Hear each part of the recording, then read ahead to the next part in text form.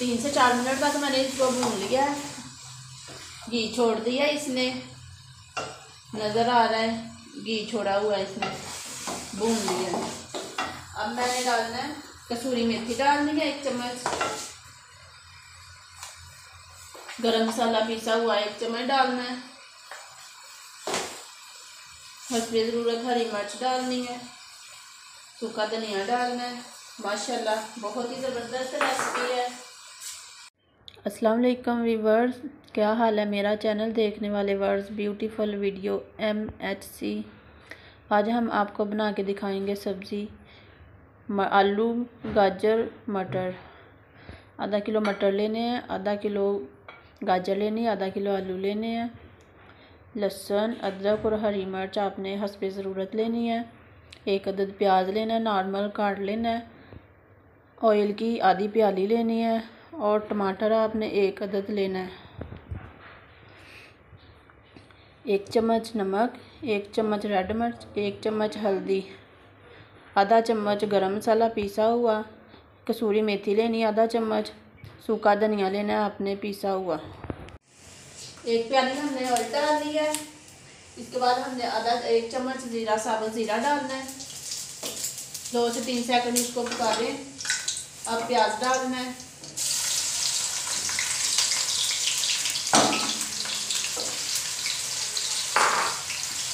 इसको अच्छी तरह पका लें। ब्राउन करना है। तीन से चार मिनट लगने हैं, इसको चूल्हा नॉर्मल है हमारा। प्याज हमारा कलर चेंज हो गया, ब्राउन हो रहा है, ज़्यादा ब्राउन नहीं करना। हांडी पकने तक इसका कलर चेंज होता रहता है। अब हमने डालना लहसुन, अदरक और हरी मिर्च का पेस्ट। बहुत ही आसान रेसिपी है, हमारी बहुत ही ज़बरदस्त है। आलू, गाजर, मटर की रेसिपी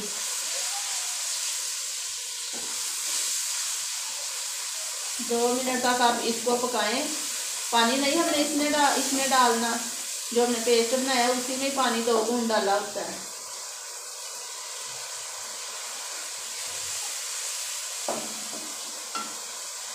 इसके बाद टमाटर पेस्ट डालें। मिक्स करें। थोड़ा पकाएँ, फिर नमक मिर्च डालते हैं।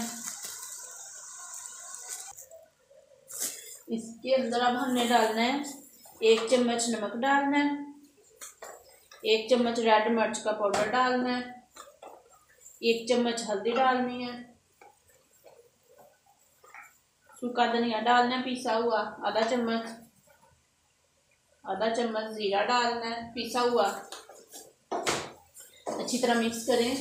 मसाला भूनने आप, दो से तीन मिनट तक इसको भूनना है अपने ताकि घी छोड़ दे। घी छोड़ने तक आपने इसको पकाना है। मसाला मैंने भून लिया, अब हमने इसके अंदर सब्ज़ी डालनी है मटर डालने आलू गाजर डालनी है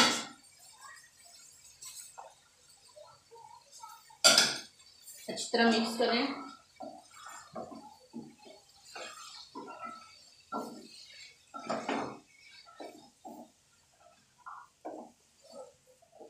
मसाले के अंदर आपने अच्छी तरह मिक्स करना है। देखिए मिक्स हो गया अच्छी तरह और दो घूट पानी डाल दें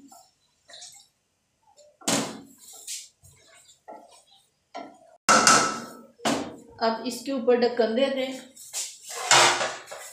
पाँच से सात मिनट तक इसके ऊपर ढक्कन दे दें चूल्हा नॉर्मल कर दें। ताकि आलू, गाजर, मटर गल जाए। अब देखिए मेरा, माशाल्लाह, बहुत ही अच्छी खुशबू आ रही है, बहुत ही ज़बरदस्त है। आप भी ज़रूर बना के ट्राई करें, अपने बच्चों को, अपनी फैमिली को बना के दें। और बहुत कम वक्त में रेसिपी तैयार हो जाती है। आलू गाजर मटर। अब ये भूनने वाला रह गया, हमारा गल गया। तीन मिनट बाद हमने इसको भून लेना है।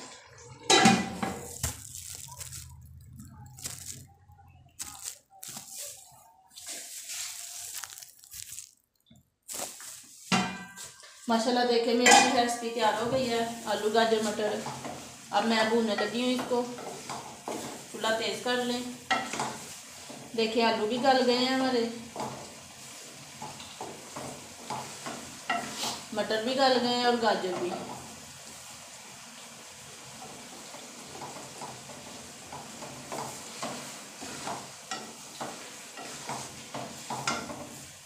तीन से चार मिनट तो अब लाजमी भूनना है।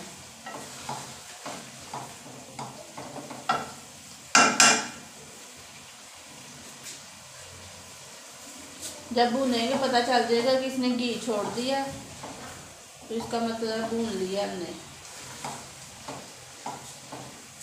अभी घी नहीं छोड़ा इसने। इसको भूनना तीन से चार मिनट तक। तीन से चार मिनट तक मैंने इसको भून लिया है घी छोड़ दिया इसने। नज़र आ रहा है, घी छोड़ा हुआ है इसने। भून लिया। अब मैंने डालना है कसूरी मेथी। डालनी है एक चम्मच। गरम मसाला पीसा हुआ एक चम्मच डालना है। हसबे ज़रूरत हरी मिर्च डालनी है। सूखा धनिया डालना है। माशाल्लाह, बहुत ही ज़बरदस्त रेसिपी है। आप भी बना के ज़रूर ट्राई कीजिए। ज़रूर देखें।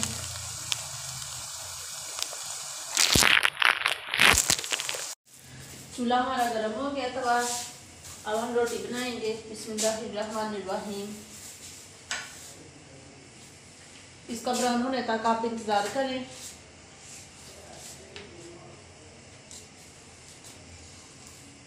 ब्राउन होगा, फिर इसकी साइड चेंज करनी है।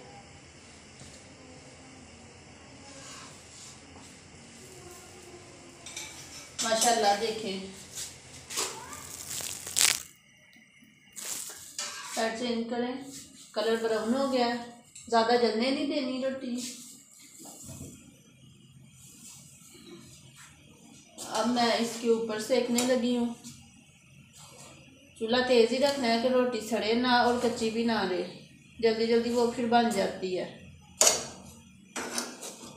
माशाल्लाह, देखें, कितनी ज़बरदस्त रोटी बनी है। माशाल्लाह। मेरे से तो पकड़ी भी नहीं जा रही। मेरा चैनल सब्सक्राइब ज़रूर करें। अल्लाह ताला आपके रिस्क में, आपके खानों में, आपके जायकों में बरकत दे। जजाकल्ला देखिए, माशाल्लाह। देखिए, हमारा खाना तैयार हो गया। आलू, गाजर, मटर, साथ में रोटी। अल्लाह ताला आपके रिस्क में, आपके जायकों में, आपके बरकत दे जजाकल्ला आप भी ज़रूर बना के ट्राई कीजिए।